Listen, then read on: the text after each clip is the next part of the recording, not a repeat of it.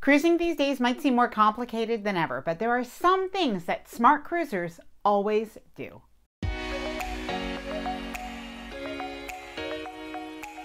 Hi there, I'm Ilana from the website lifewellcruised.com. Welcome or welcome back to my channel. Now, there are some things that smart cruisers always do that really make their cruise better. Now, some of these things are actually really big, important things, and others are pretty small things that, you know, oftentimes they do say that the details are really what make the experience. So in this video, I'm going to share with you the 10 top things that smart cruisers always do, some mistakes that they kind of don't usually make at least. Now, before I get started, I did want to mention two things. Firstly, please let me know what you think smart cruisers always do, and let me know if you do any of these things. And secondly, if you like this video, if you find it helpful, informative, or enjoyable in any way, then please do give the video a big thumbs up. I really do appreciate it. And please subscribe to the channel if you haven't done so already. Let's get started. Number one, they keep their passports and their government ID up to date, and in particular, they keep a close eye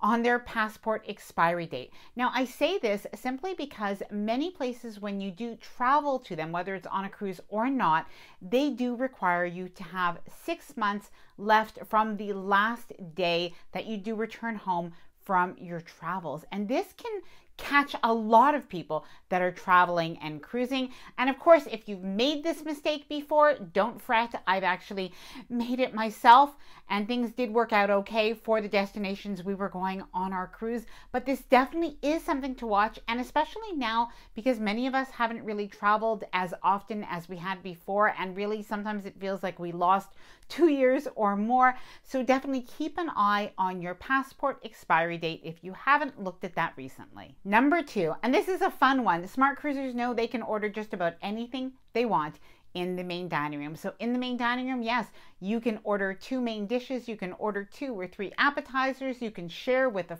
friend. Um, you could even order dessert before your meal if you like. Sometimes we actually order a cheese plate as an appetizer. That's usually on the dessert menu. And even sometimes if you've really liked something that you've eaten in the main dining room, if you do speak with the waiter, sometimes the chef can make that for you another night of your cruise. Number three, smart cruisers use their cruise planner and they book as much as possible in advance before they get on the cruise. So not only are shore excursions sometimes cheaper by booking them before you get on the cruise, but you're going to save yourself the hassle of waiting in line once you're on the cruise ship or trying to find out what is still available and what is not available. So that's a big reason that smart cruisers book their excursions before they get on the cruise. And of course, other things like booking their dining packages, their beverage packages, even certain appointments. Smart cruisers know that the more that is booked up before you get on the cruise, the better and easier time you have when you are cruising. Number four, smart cruisers know their cruise lingo.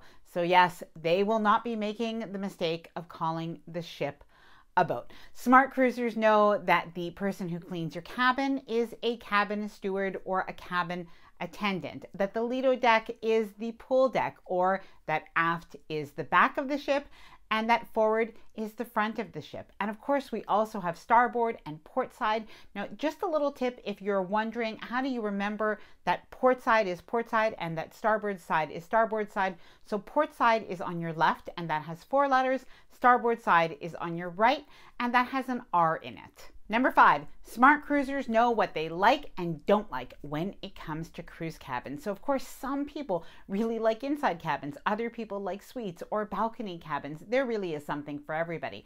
Some people don't mind having a guarantee cabin because the benefit is going to be that this is going to be less expensive and it's a bit of a gamble. You might get a great cabin. And other people are very particular about their cabin location. They know they're very sensitive, perhaps to noise, and they really have to know that they are going to get maybe a midship cabin or a cabin that is not under the Lido deck. So it really is so important to know your tolerance when it comes to cruise cabins. Number six, smart cruisers try to keep organized on their cruise. So this can mean unpacking right away on the first day of the cruise. This might mean using packing cubes or organizing their cabin using some magnets on the walls to hang up things, or maybe using an over the door organizer to keep organized. Smart cruisers are keeping up with all of the protocols and all of the changes, as hard as that is sometimes. And smart cruisers really have what they need, all of their necessities, and they try not to overpack. Now, if you do overpack, really, that is not the worst vice in the world. I myself do overpack, perhaps that's why I'm saying it.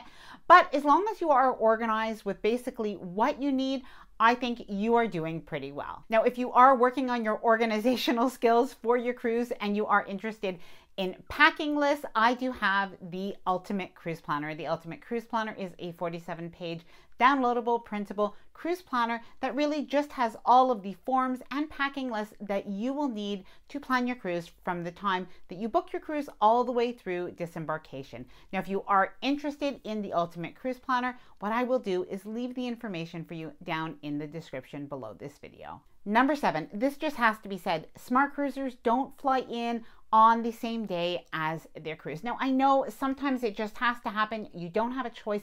But overall, it is always better to arrive at your cruise port the day before. Not only will you not be late for your cruise ship because, well, you'll be there on time, obviously, but you also start off your cruise well rested, and that is the best way to start off your cruise. And there's a part two to this one. Smart cruisers also don't book a flight too early in the day on disembarkation day. They know that things do happen and it is better to have a flight that is in the early afternoon than trying to rush off the cruise ship and perhaps not making it. Number eight, smart cruisers study the deck plan of their cruise ship sometimes in advance or otherwise do explore the ship on the first day of the cruise. And this is especially true if this is a new cruise ship that you might be going on. Now, something else that people do that I think is really, really smart is before going on the cruise ship, they really do some research to find out what are some of the best restaurants to go to, what are some of the best foods to try, maybe even what bars are the best bars to go to, where can you get the best drinks. And once on the cruise ship, they're going to find one or two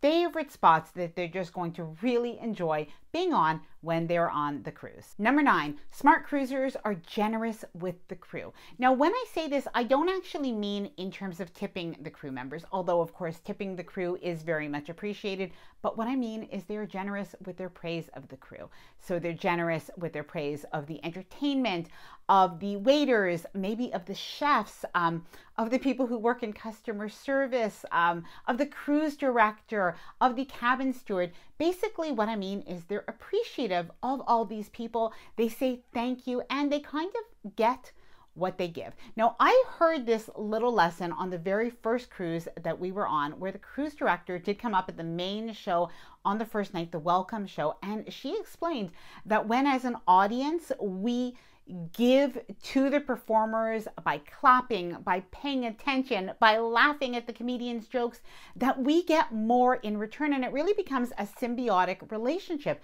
And I think this is definitely something that is true. Now, it doesn't mean that you shouldn't complain if there is a problem. Definitely go to customer service if there is. But otherwise, I think that you'll find, at least I've found, that if you are generous with your praise, that you tend to really have a great cruise experience. Please let me know if you found this to be true or not true in the past. Number 10, and personally I really love this one, is that smart cruisers always have another cruise book. Now I just think this is something really smart because at the end of the cruise, there's always going to be those post-cruise blues. It really is kind of a letdown when the cruise finishes at the end. It's just not a great feeling disembarkation day.